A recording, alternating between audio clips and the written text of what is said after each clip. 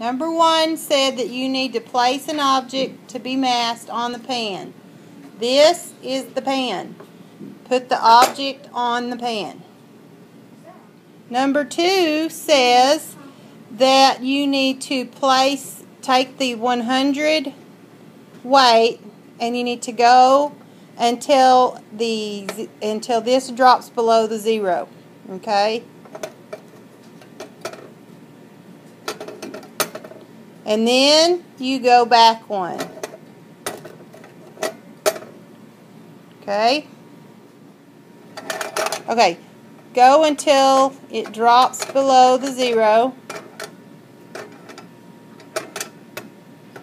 And then go back one. Number four says you use this one until you have to move it very slowly until you even that line out with the zero over there.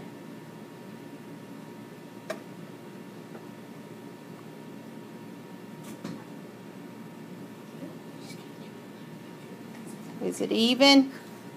Is it close enough to even? Yeah. Number five says that you once you have done all of that, that you're going to add the numbers together. So the 100s are on what? 100. 100. And the 10s are on what? 50. 50. And the ones are on what? About two and a half. But all those little bitty lines are tenths. Okay, so if we wanted to actually go to those little lines, we would say that is two and four tenths. Okay? So we're going to add those numbers.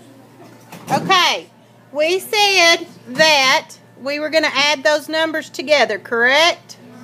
So we are going to write the 100 on there. And then we're going to add the tens were on what?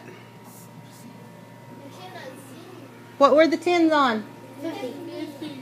50, So we want to add 50. And what did we say about the one? Two.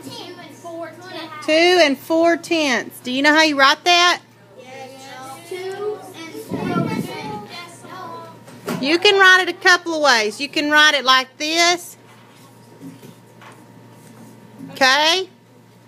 Or you can write it like this. Okay? You can't write over two over four. Two over four? No, because that's not four tenths. Oh, we're just gonna add them, right? Okay? So then we're going to add them. Okay?